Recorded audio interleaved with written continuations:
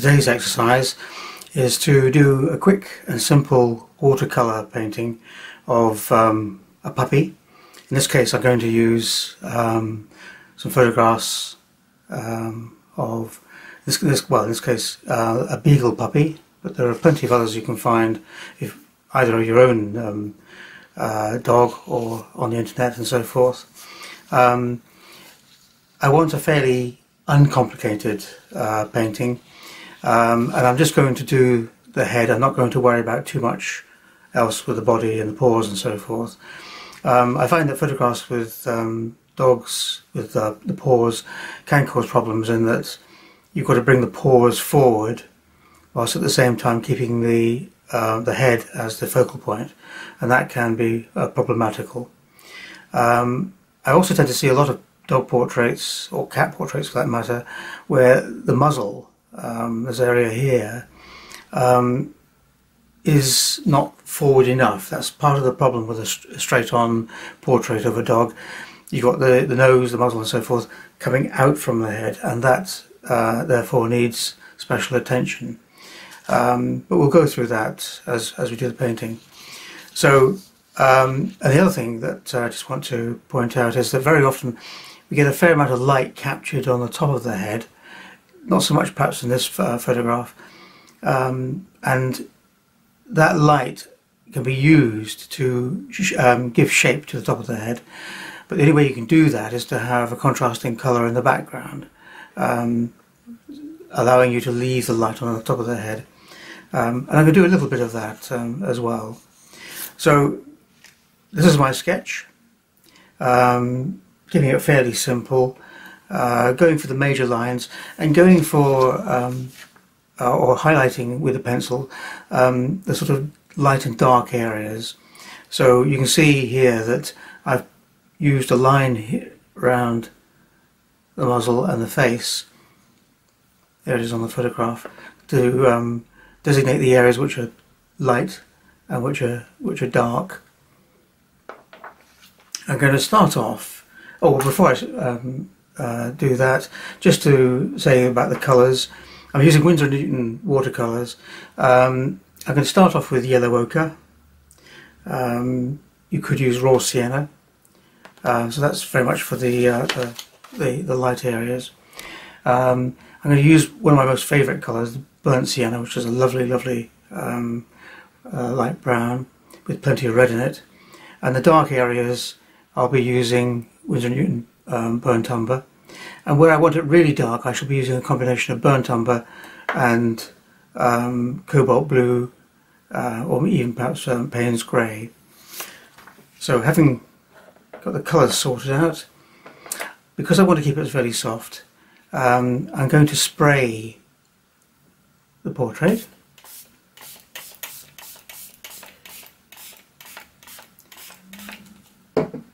And the areas where I don't want quite so much water because I want to be slightly, I want the lines to be slightly harder, um, I'm just going to try that a little bit with a, with a tissue.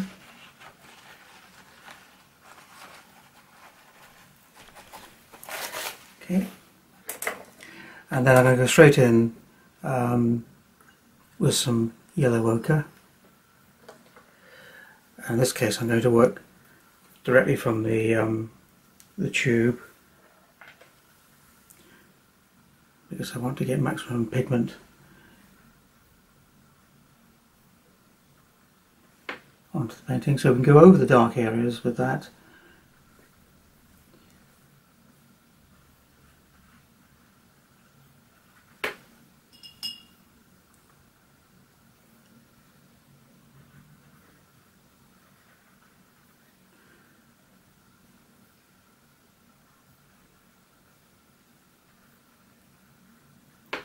gets us going.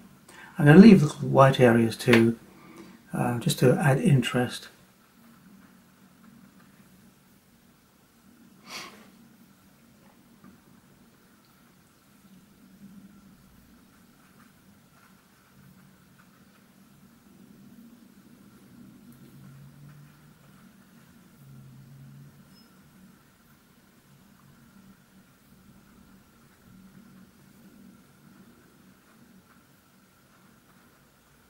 It to be quite sketchy. Um, take that off there.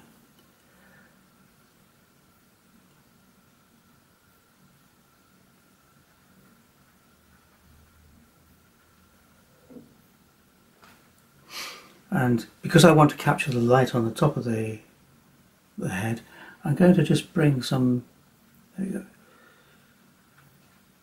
some of that out and use the tissue just to keep that top area of the head light so this is me going into a simple and uh, sketchy background.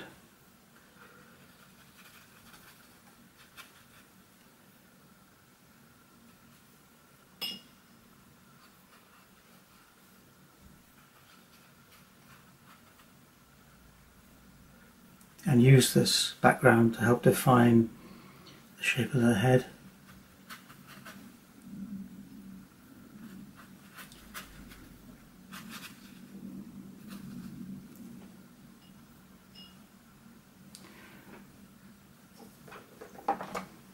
whilst that's still wet I'm just going to use a little bit of burnt sienna in the background there stroke it in a little bit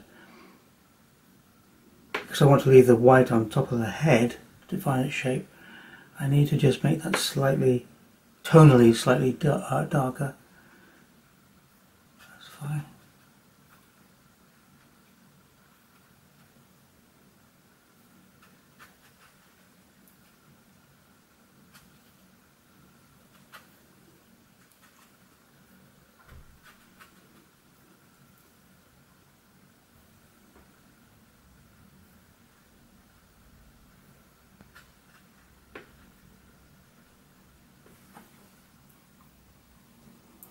Now I'm going to use the yellow ochre again. I've got that going. Um, if it starts to get too dry you can respray with water and I'm just going to work the the stickier yellow ochre into the darker areas to start defining some of their shapes.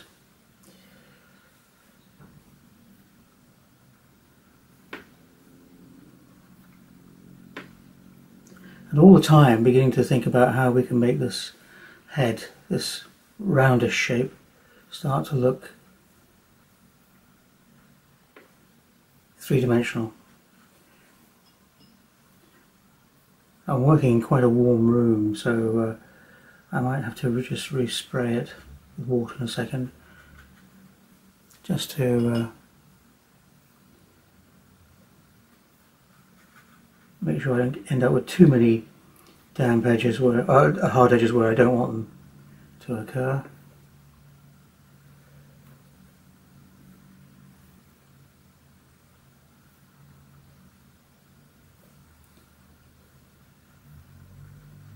Yeah. In fact that's getting quite quite dry so I'm going to give that a quick spray.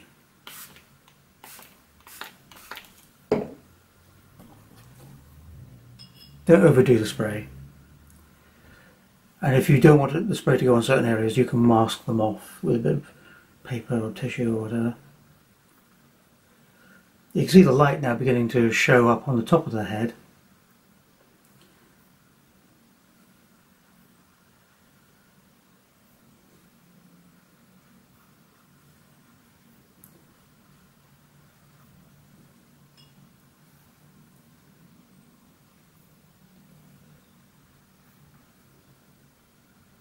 So as I say, just adding more yellow ochre onto the dark areas. Now, the yellow ochre has gone to some areas that I want to leave white um, down the, the centre of the, the, the muzzle here. So I'm just going to use a hungry brush, which is a brush which is clean but damp, um, just to take off some of that yellow ochre that has spread onto the, that area there. That's good.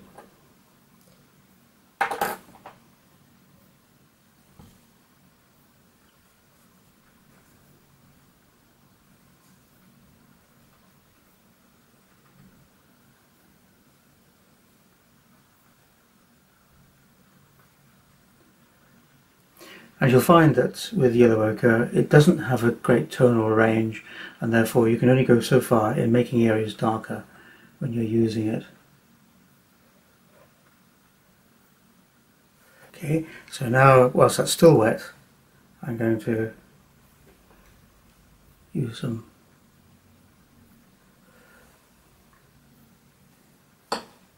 burnt sienna and you can see this lovely this Winsor Newton burnt sienna is absolutely gorgeous. It's a really lovely colour. Using it directly from the tube. Working quickly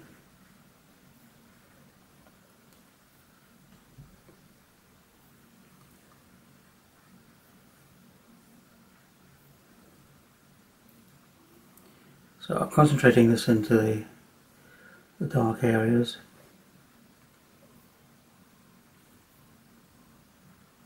And putting the paint on, stroking it in the same direction as the, the hairs.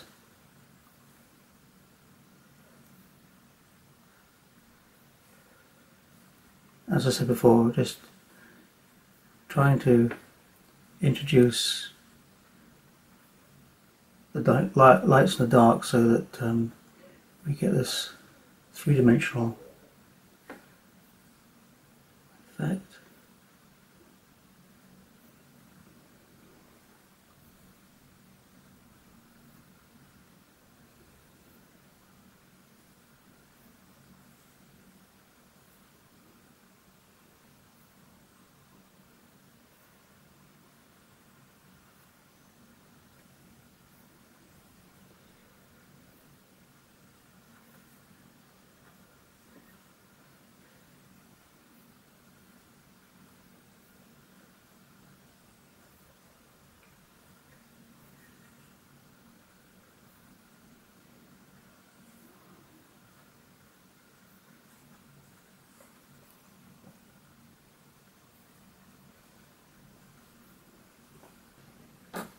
So it's getting just a little bit dry again, so I'm just going to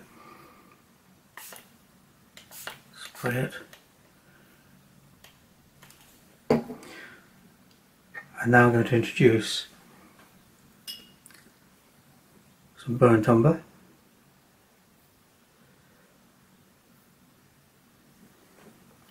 Again working into the dark areas. I'm working with or in, in the same direction as the, the actual hairs themselves using the side of the brush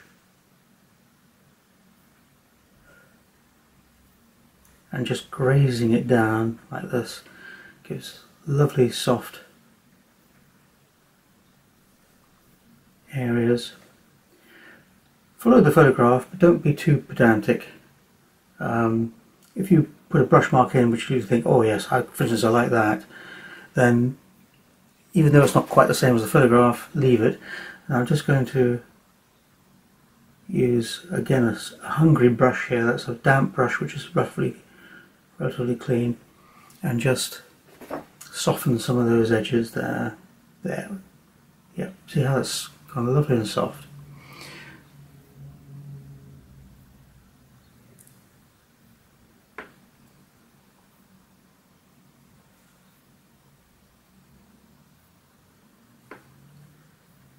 nice dark area here where there's a sort of a shadow from cast by the ear.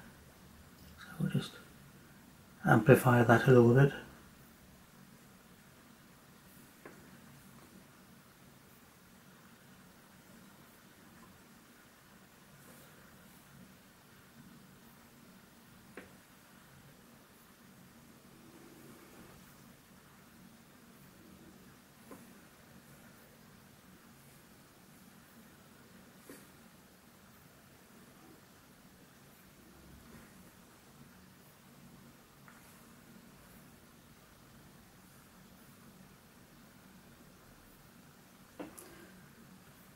process of working wet into wet, I find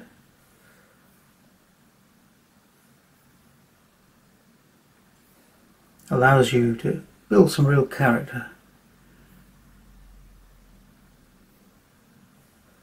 into your paintings.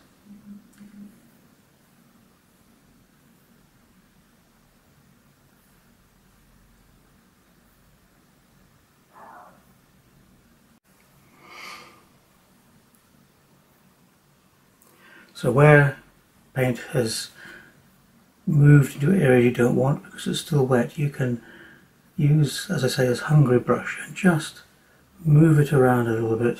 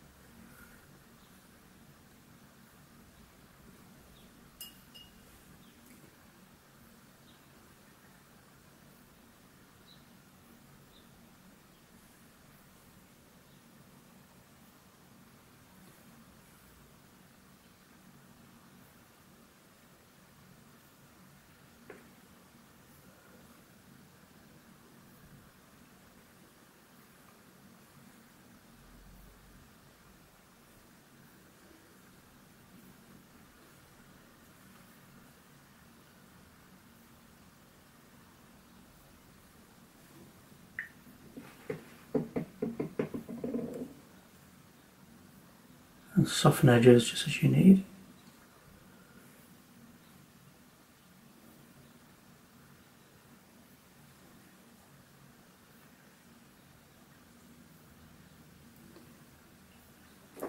And where you want a bit of fuzziness, if you wet an area like that, just spread out of it, and then just kiss it with a bit of the, uh, the colour, you'll find when they hit each other, hopefully you'll end up with this sort of nice fuzzy area which I've got up here. Where it's too tight and too hard, just again introduce a little bit of water, move the paint around a bit. A bit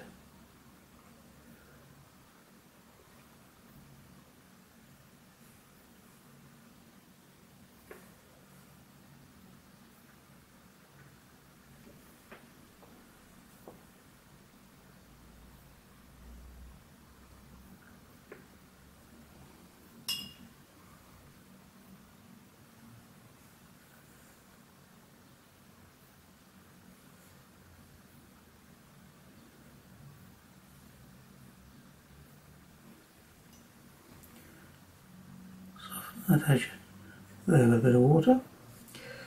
Okay. Now, this area here would be careful with because um, the actual nose itself is going to be quite dark, but the area around it's quite dark. So to get a differentiation between the two, we've just got to get a little bit of total difference in there. Don't want it to be too hard around that surface. Just soften that a little bit. Come back to that again later on.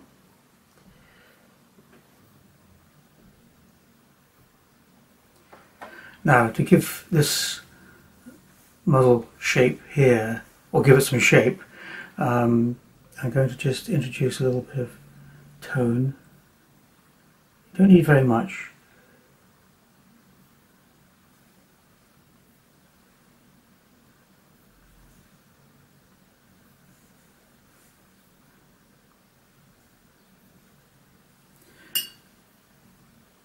Straight away you can see you've got, you're actually defining the shape of the bottom of the mouth area there with, because it's, it's, it's positive and negative painting. That's uh, overrun a little bit there, so we'll get rid of that.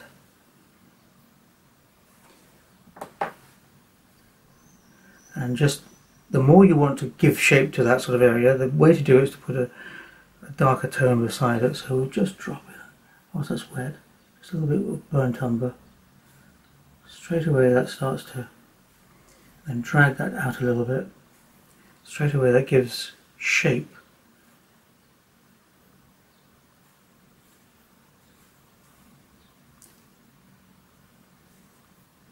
This area here is all in shadow, so we'll just give that a little bit more tone.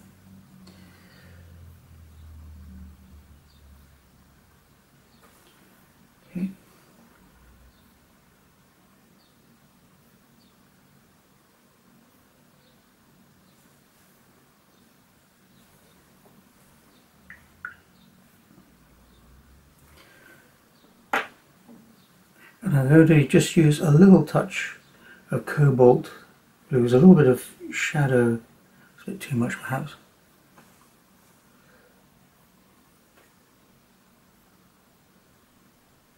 In this area. So the white fur there is not completely white. The same on this area here too, very very light.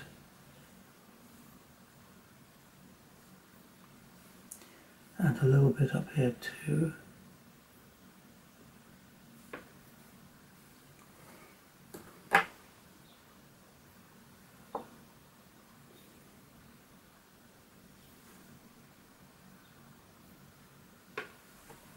Okay, now to bring that muzzle further forward, I put a little bit of blue on there, which is a cold colour, but it just gives it a bit of shading. Um, but to bring a, a, a white muzzle like that um, further forward, what I tend to do is use a bit of alizarin crimson, too much there, just bring it, and that just helps to bring that area forward. And a red colour just helps to just drag that area out from the face. Don't want too much there, just take that off. That that looks quite good, leave that. That just helps to drag it forward slightly.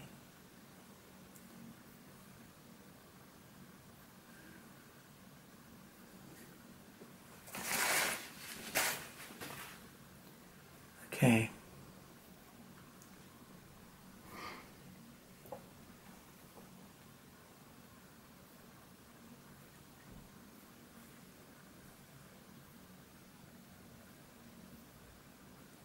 Just a little bit of soft blending there.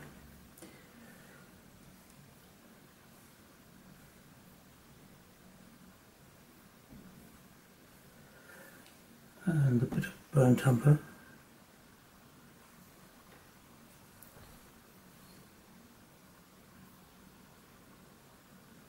any colour which has got a lovely red in it, like the burnt umber, like the burnt sienna, used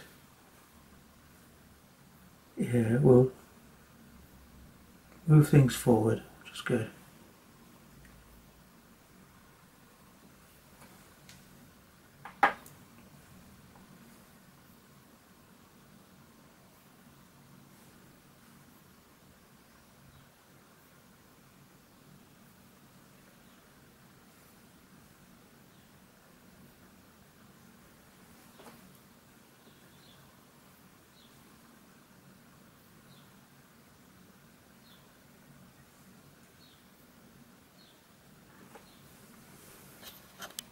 So the next thing I'm going to do is um, work on his nose.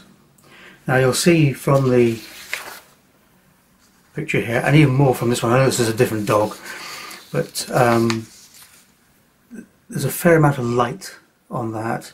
Um, and when we have black, um, to get the light, very often it's a good idea to paint the whole area first of all with a blue, um, ultramarine or cobalt, then introduce the darker area by using um, the same blue again mixed with burnt umber, um, leaving the light areas. And that's usually fairly effective. So um, I'm going to use a little bit of cobalt just to get that going.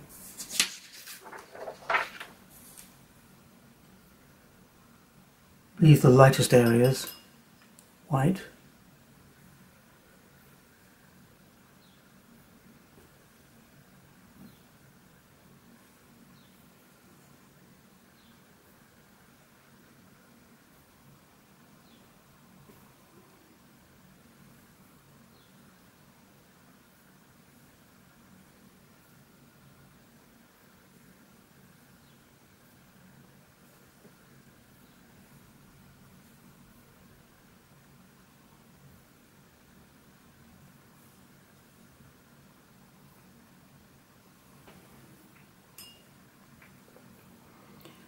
So now I'm going to use a combination of the blue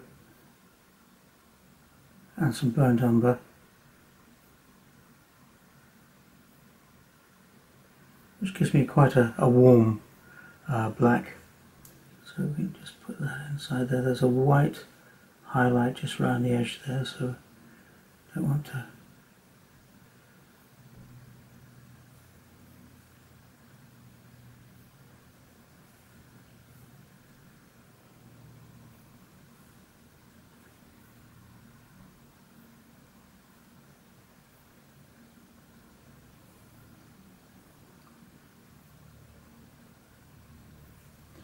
And again, it's a case of trying to make it look as three-dimensional as you can by using the, the lights and the darks.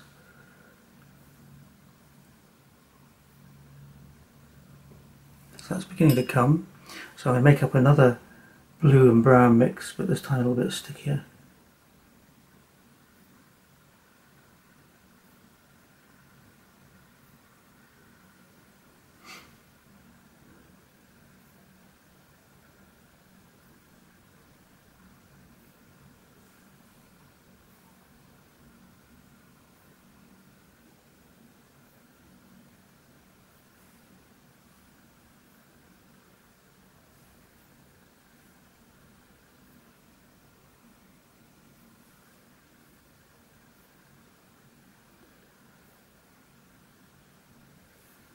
Just working it carefully in, leaving the light areas light. I haven't got quite enough light there on the left hand side, but we'll do that by removing some colour later on.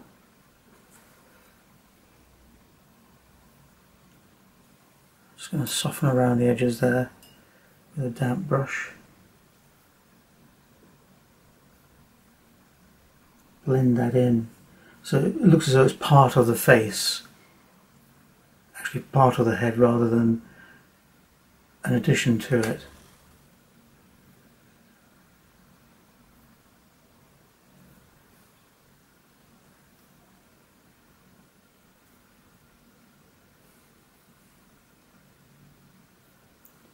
So I've retained the highlight there and now I can start to just knock it back a little bit, just blend it a little bit where it's not quite so significant.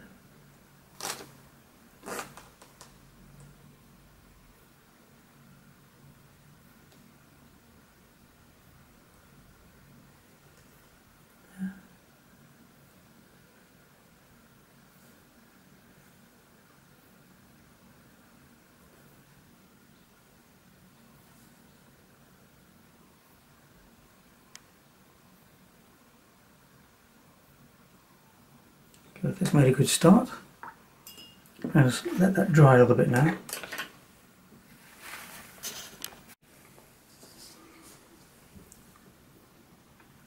So I've dried those a little bit.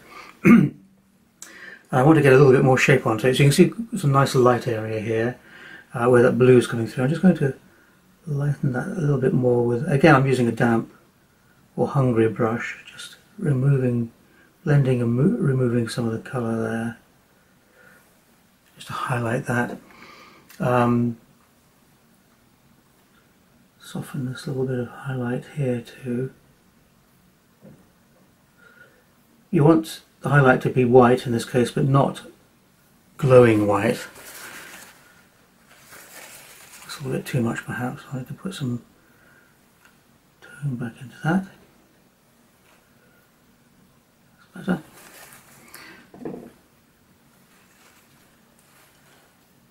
just give a little bit of a where you've got this distinction between the left and right. Just just remove a little bit of colour there. Um, just up here on top of the nostril you get a little little highlight, not too much.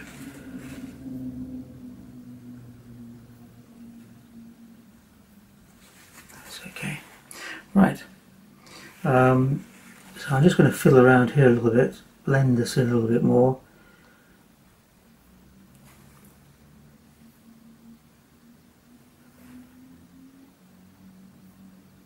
Use a little bit more burnt umber just to the main thing is to make, as I said before, make these things look as though they're part of the face rather than something that's just been added on.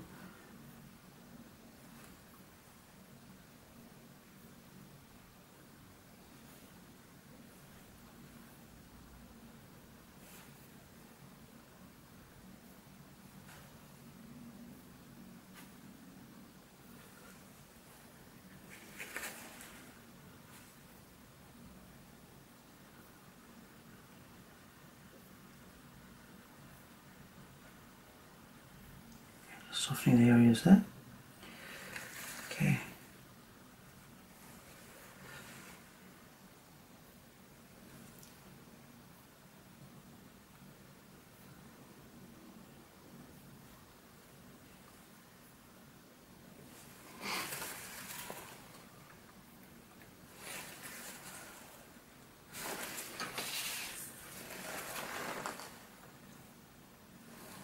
and I'm going to use a bit of a combination of that blue and black again.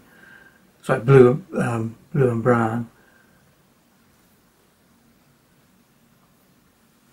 Just to darken up one or two of these areas around the eyes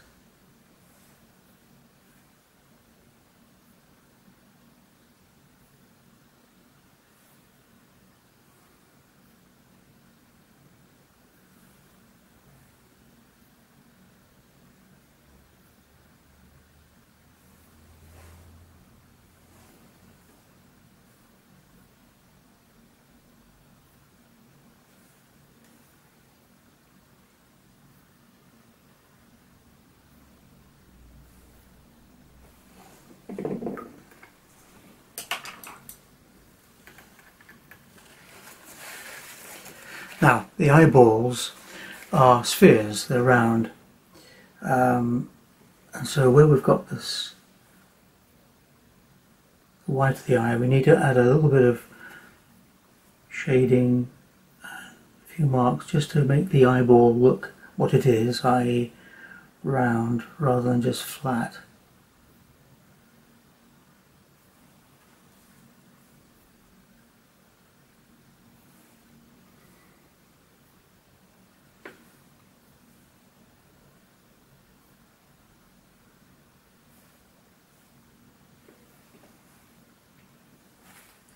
There's a nice big highlight on the um, around the pupil too, so we'll just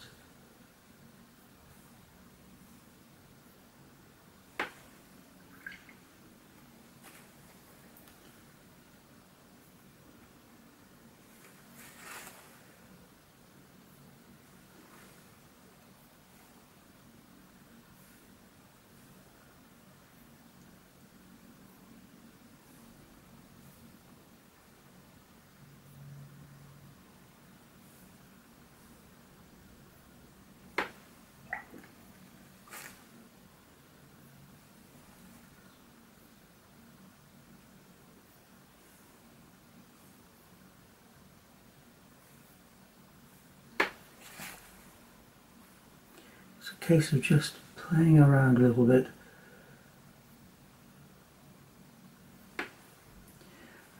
And you find that the sort of horrible dirty mix that you've got left in parts of your palette just right for um, some of these shadow areas. So over here this eye is quite dark.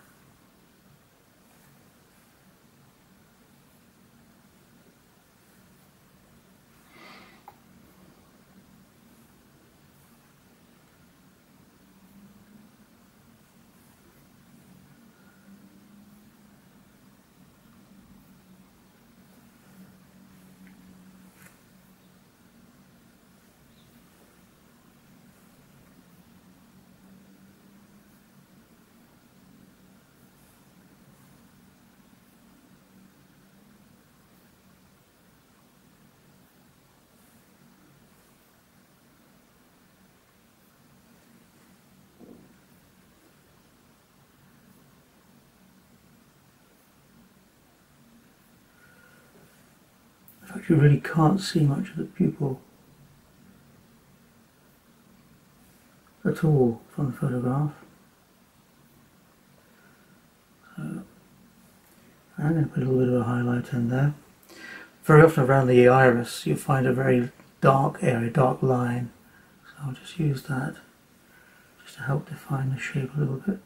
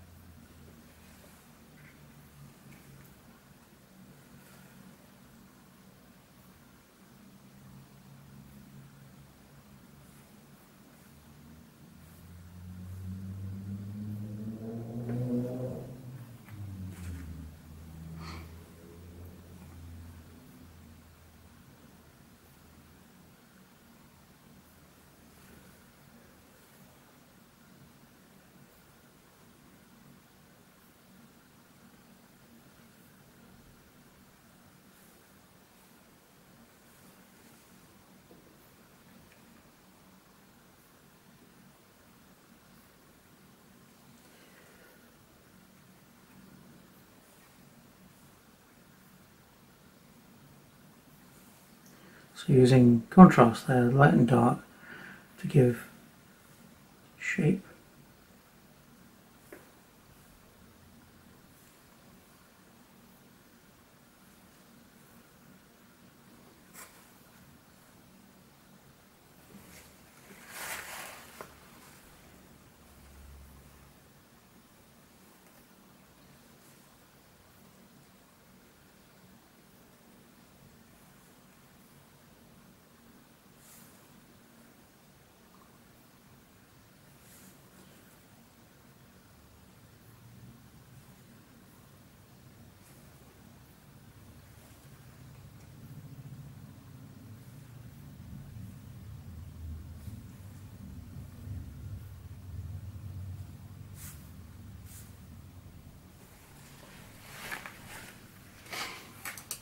So we're getting close to the finish now.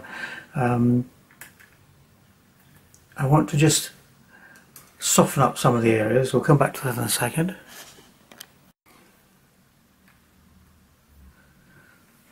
We're almost there now. Um, I've defined this right hand ear here a little bit by showing just a little bit of the, the um, the colour of the body as it goes back. I don't want to put the body in, I don't want to go that far, but I just want to use the, the um, tone there just to show the shape of the ear. Put a little dark in.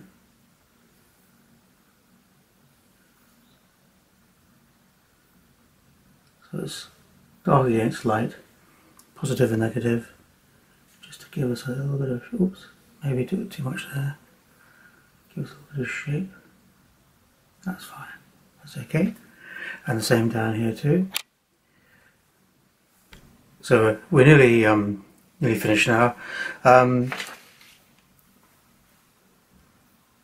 I'm going to uh, just one or two little hairs using burnt umber.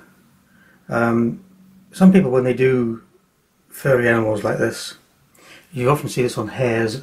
I mean, hares as, as an H-A-R-E and uh, rabbits and things like that, that um, some artists will spend absolutely hours putting in, almost stroking in virtually every every hair. Um, what I do is I just suggest little areas where there's some hairs. As one professional artist said to me some years ago, when you're painting a forest, you paint perhaps just two or three or four trees and the rest you put in as shapes and you allow the eye of the observer to fill in the rest. It's a bit like um, if you have a, a Georgian facade, a, a, large old building with loads of windows and, and so forth you don't necessarily want to paint every individual window. paint one or two close to the eye and then block the others in very very lightly, very very loosely just to give the indication that um, what is there. So I think that's about as much as I'm going to do with the, the burnt umber. That's fine. Um, just put a few more little darks in um, and here just to define the edge there of the, the um, muzzle and the ear. The same here too, a little bit of tone there showing where the rest of the body comes, um, but doing it in such a way that it helps to find that area.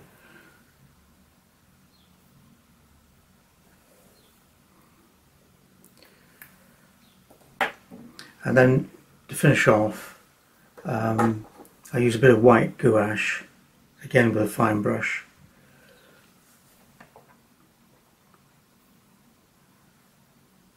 Just to indicate some whiskers. You can get white pens that will do this as well, so the Posca pens, which are very good.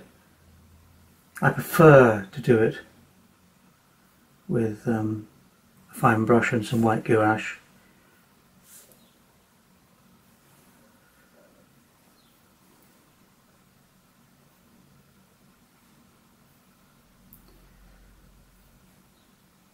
because there's a little bit less control and I think um, oops if you have too much the pen the pen gives you a little bit too much control. It, it actually stullifies the picture and takes away from the the looseness. Okay. I think that's about it. So what we've done is we have used a fairly light tone in the background to help define the shape of the top of the head which is getting most light therefore it's quite, it's quite white. Um, but just subtle there nothing too um, contrasty. Um, some lovely wet into wet here where sort of fur is sort of blending into the background a little bit. So you get a nice soft area there. So what you want is a combination of soft areas and hard areas. Um, a little bit of highlight here and there. You can use the white gouache again just to help there too. And keep it nice and loose. Well, I hope you enjoyed that. I enjoyed painting that. I always enjoy painting animals um, in a, a, loose, wet into wet way. Um, giving the palette down so we just use yellow ochre, burnt sienna, burnt umber, touch of blue and then a little bit of alizarin crimson here and there and so forth um, keeping it nice and simple and loose.